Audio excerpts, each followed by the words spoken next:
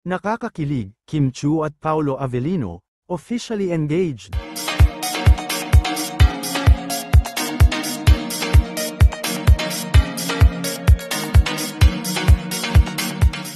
Engaged na ang aktres na si Kim Chu kay Paolo Avellino, nag-propose si Paolo sa isang intimate na dinner kamakailan, masayang tinanggap ni Kim ang proposal at sinagot ng matamis na, oo, ibinahagi nila ang balita sa social media, na agad nag-viral. Maraming celebrities at fans ang nagpahayag ng kanilang pagbati, naging usap-usapan ang kanilang engagement online, sinabi ni Kim na labis siyang masaya at excited sa kanilang hinaharap, si Paulo naman ay nagpasalamat sa lahat ng suporta. Inaasahan na ngayon ang kanilang wedding preparations, patuloy silang sinusubaybayan ng publiko. And this are Chika for today mga ka-showbiz sana nag-enjoy kayo.